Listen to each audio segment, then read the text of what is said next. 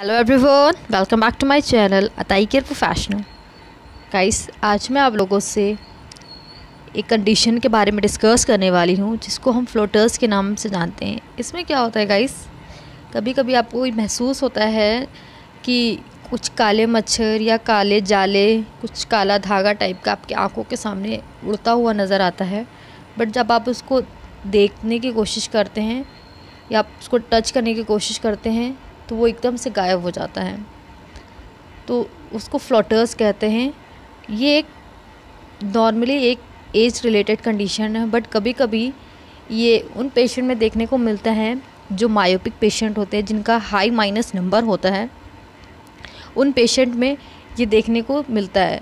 क्योंकि गाइस जो high minus patient होते हैं, जो मायोपिक होते हैं, उनका जो रेटिना होता है, वो काफ़ी वीक हो जाता है। तो उसकी वजह से भी जो मायोपिक पेशेंट हैं, उनमें फ्लोटर्स देखने के चांसेस ज़्यादा होता है।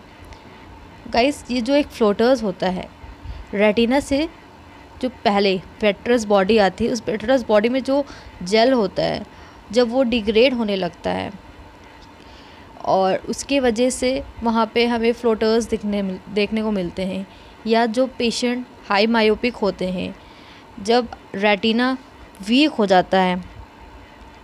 तो वहाँ पे रेट जो रेटिना है, उस पर होल हो जाता है, जिसकी वजह से ये फ्लोटर्स देखने को मिल जाता है।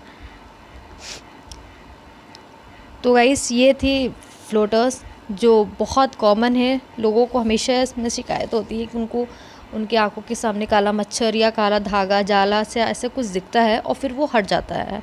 तो इसको ही बोलते हैं फ्लोटर्स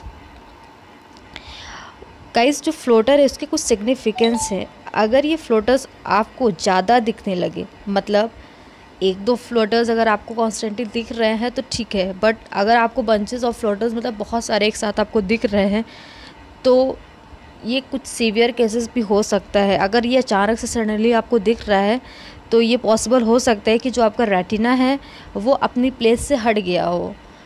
कभी कभी होता है कि जब फ्लोटर्स आपको ज़्यादा दिखते हैं तो जो रेटिना होती है, वो अपने प्लेस से थोड़ी सी हट जाती है, जिसकी वजह से फ्लोटर्स बहुत ज़्यादा क्वांटिटी में दिखने लगते हैं, जिसको बोलते हैं रेटिनल डिटैचमेंट तो गाइस जिनको एक दो फ्लोटर्स दिख रहे हैं, उनमें कोई प्रॉब्लम नहीं है।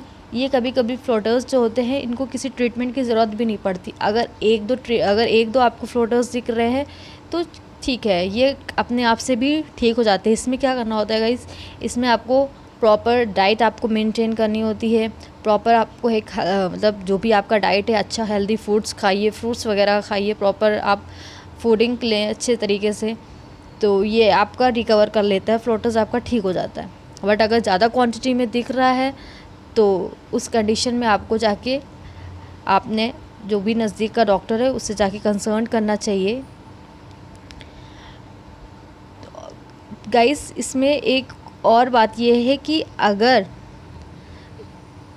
आप जब जाते हैं आई टेस्टिंग के लिए, जब भी आप किसी भी डॉक्टर के पास जाते हैं तो अगर आप डायबिटीज़ पेशेंट है, जो लोग डायबिटीज़ पेशेंट है उनसे रिक्वेस्ट है या नॉर्मली जो भी पेशेंट हो डायबिटीज़ को भी छोड़ के जो भी पेशेंट्स हैं, जिनको फोटर्स की प्रॉब्लम है, जिन्हें हाई माइनस नंबर है, वो लोग जब जाते हैं डॉक्टर के पास तो वो लोग अपनी रेटिना का ज़रूर चेकअप कराएँ। उसमें दवा डालें, उसको डायलेट करवा के, दवा डाल के वो रेटिना आपका चेक किया जाता है। उसमें डायलेट हो जाती है आपकी आइज़ तो रेटिना ईज़िली देखने को मिल जाता है अच्छे से कि उसमें कोई प्रॉब्लम तो नहीं हो रही है, वो अपने प्लेस पे है, उसमें कोई होल वगैरह कुछ तो नहीं है, ये आपका डॉक्टर आपको देख के आपको बता देगा।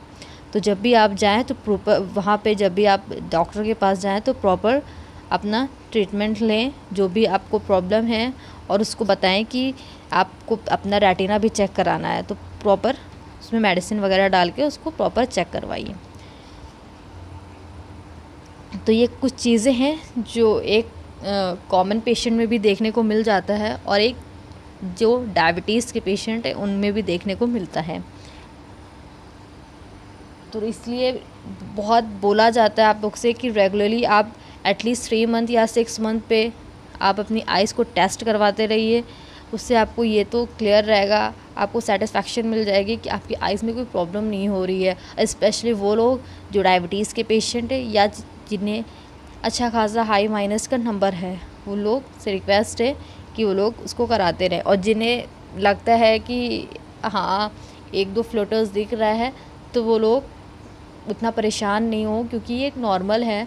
आप इसमें थोड़ा सा खाना वगैरह अच्छे से खाइए हेल्दी फूड्स वगैरह लीजिए, इसमें ये आपका रिकवर कर लेगा। बट अगर ज़्यादा प्रॉब्लम हो रही है तो सडनली से अगर आपको दिख रहा है, बहुत सारे फ्लोटर्स एक साथ दिख रहा है अचानक से तो ये पॉसिबल है कि आपका जो रेटिना है, हो सकता है कि उसमें वो अपने प्लेस से हट गया। कभी कभी क्या होता है गाइस जो डायबिटीज़ पेशेंट होते हैं, अगर वो ध्यान नहीं देते हैं टाइम से, वो नहीं जाते डॉक्टरों के पास तो क्या होता है कि जो रेटिना होता है, उसमें ब्लड भी आ जाता है।